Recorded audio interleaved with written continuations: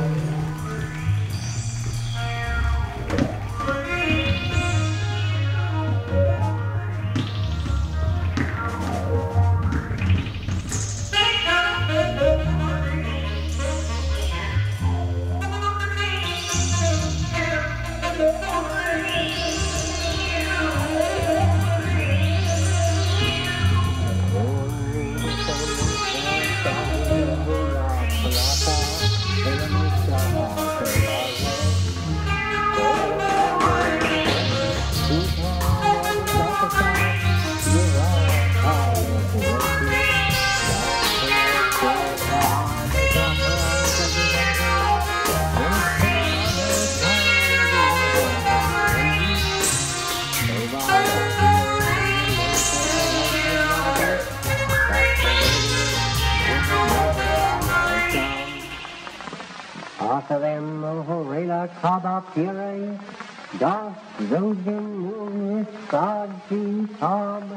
erim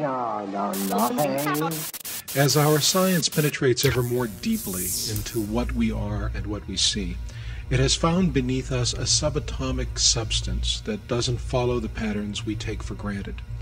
A world where distance is arbitrary and effect can actually precede cause.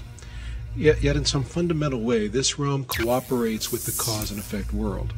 How does this cooperation work, and how can we interact with it?